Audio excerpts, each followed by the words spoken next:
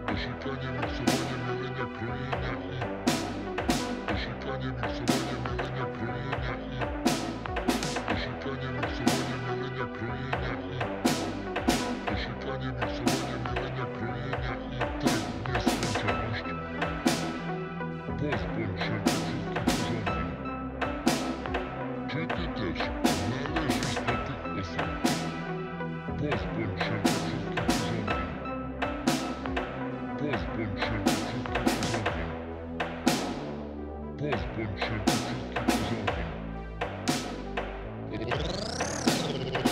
które mają w domu osobne urządzenia. Osób, które mają w domu osobne urządzenia. Osób, które mają w domu osobne urządzenia do miksowania, mielenia, krojenia.